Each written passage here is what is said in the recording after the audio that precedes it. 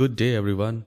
Well, if your second monitor is not getting detected in Windows 11, I'll tell you some very effective steps and you will be able to fix it on your own. So the very first thing here is to check the monitor cable. If you have connected through HDMI or DP, make sure it is properly connected or try in a different port. Then next, the second thing is to GPU wake. So you need to refresh the driver, the graphics driver. So to do that, you need to press the Windows key, then Control Shift B, all these together. I know it is a little tough. However, once you press these keys, your windows get refreshed. I'll show you how we can do that. I'll press Window, Control, Shift and B. The moment I do it, you see you heard a sound and there was a click. So it was actually refreshed. Now the next thing, the third step is to check the project mode. I'll show you.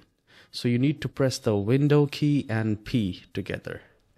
And here you will find what exactly you want. You want to duplicate, you want to extend, or you want the second screen only. Try this and see if that works for you.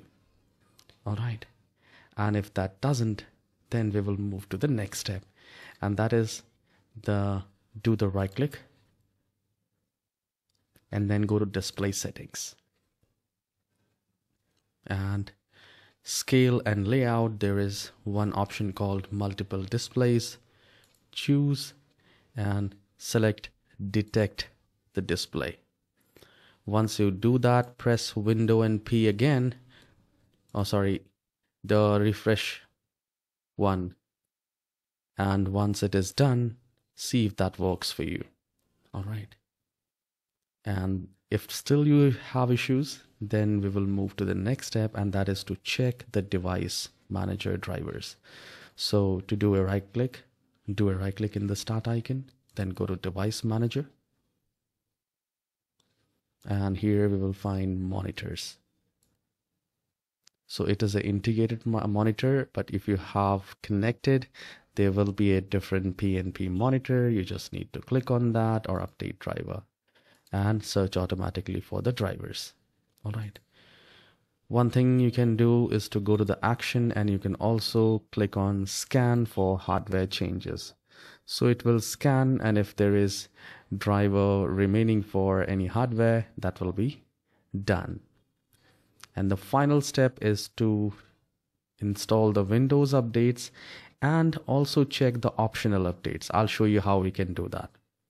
So do a right click, go to settings, go to Windows updates, and here we will go to advanced options.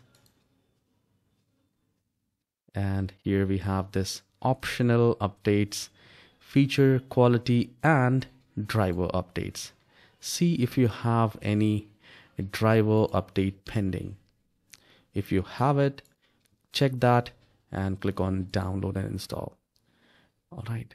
So this will, and once this is done, don't forget to restart the computer. Okay. So do let me know in the comment section which tip has worked for you, which step has worked for you, so that it help others as well.